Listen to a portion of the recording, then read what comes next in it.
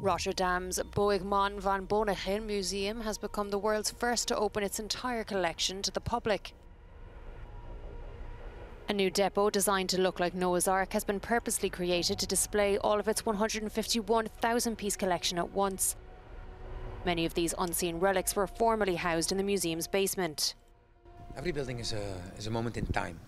So this celebrates, I think, uh, for sure the, clima the climate. Um, why? Because it's the raison d'être of this, this that the, the former archives were underwater. It was flooding. So we have to bring it up.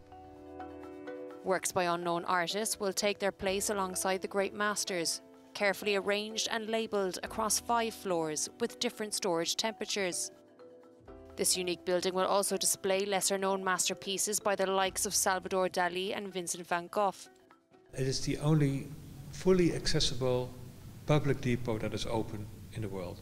There is in some museums a kind of depot, but that is always a very small area.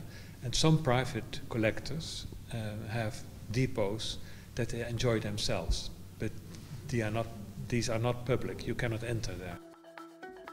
However, from the 6th of November, this facility will leave nothing to the imagination and serve as a mecca for art lovers.